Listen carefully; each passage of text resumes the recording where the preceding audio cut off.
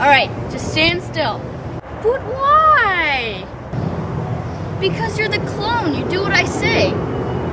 Well, why do you want to shoot me? Why not? Just stand still and let me shoot you. Okay.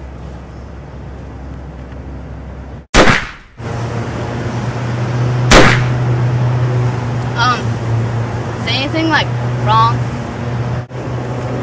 I get it. A clone can't kill his master. What you talking about, Willis? See, I'm really the real one, and you're the clone. It means I'm the one that's gonna shoot you. No, no.